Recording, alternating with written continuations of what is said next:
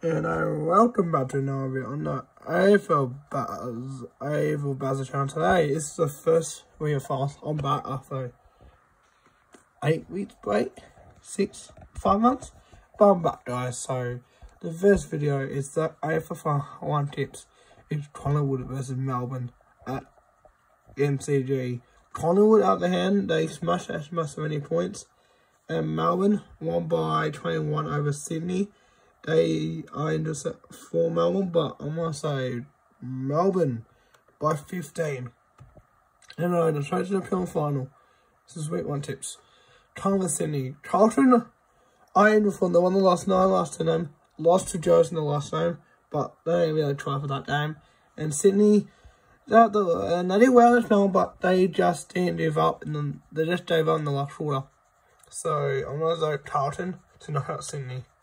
So we have Toronto in the semi-finals, Everton. At the second elimination final, at Saturday twilight, 320 at the MCG, we have St Kilda versus GWS.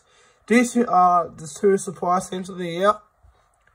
With Ross Lyon and Adam Kingsley, both their coaches. With Ross Lyon, having more experience in finals, I think St Kilda are WWS in the first week finals by 15 points. We have Brisbane vs Port at the second for fight in the last fight of finals for week one. It's at the Gabba, so Brisbane by 25 points a little bit of game. So that'll be the end of the video. Guys, see you next time, and we'll be back for the semi-final tips next uh, in two weeks' time. Next week.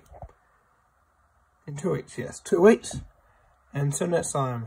Goodbye